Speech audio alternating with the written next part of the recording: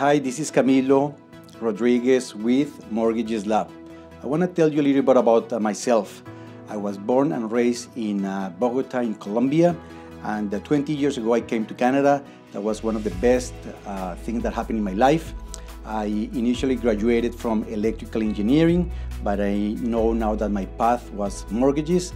Um, I finished my schooling both in the States, in a little town in Denison, Iowa, and later in Toulouse, in France. Uh, but when I came to Canada, I just fell in love with the city. Um, I started my career in mortgages at TD Canada Trust. I uh, was a mortgage manager there for about three years, and then I became a mortgage broker because I wanted to provide more choice to uh, to, uh, to you, to my clients. And uh, I did that for about four years.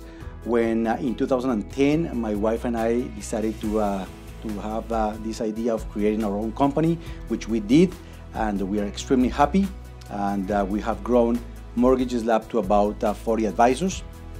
At the moment, I am the head of the company, and I've been given authorization by my wife to say I am the, uh, uh, the, the, head as long as I disclose that she's the neck of the company. So she moves the head however she wants. We have a beautiful, beautiful uh, relationship uh, together. Some hobbies, we love to travel. If there's any destination that you recommend, I would love to hear from that. Uh, we spend a lot of time as a family traveling and enjoying ourselves.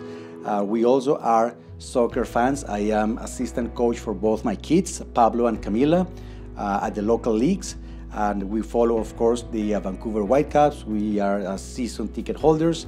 And uh, we also follow the team Real Madrid. we love all the players there. Um, I want to thank you very much for entrusting us with your mortgage. We want to do the best we can to, uh, to make you happy and to get you the best financing.